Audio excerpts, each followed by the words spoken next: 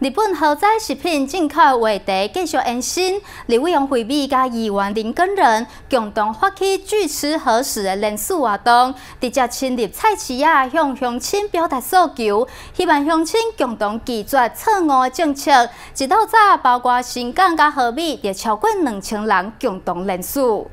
本来我请的，就讲来支持咱台湾的，啊，咱台湾唔是二本国民哦，咱台湾唔是二本国民哦。透早八点，伫河美市场，河美老人会会长谢世谷就伫厝前迎接发起人数的人潮，对错误的政策嘛，希望透过乡亲的联署，让执政者了解民众的心声。当然是有问题啊，所以这人情施政哦，施政我觉得他一直有问题，而且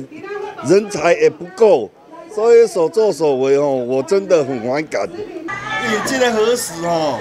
你不唔食，互咱要要创啊，互咱台湾食，这是真无合理的啦。咱是实情爱来交反对。由立委王惠美甲关议员林根仁发起的拒吃核食活动，再去分别伫河美市场甲新港菜市啊举办相亲人数，现场嘛得到相亲热情的回应。短短几点钟，参与人数的人数就超过两千人。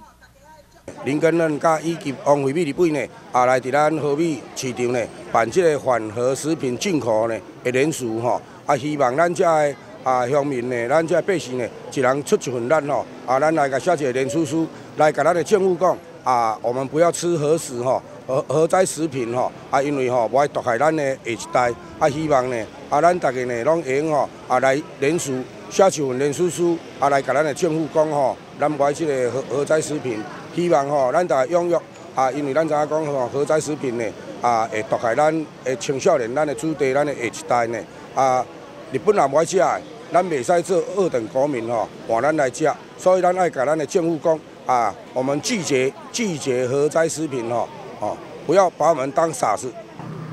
反对这假料。这政府无良心啦！我了袂遐放心啦。因为我们爱台湾，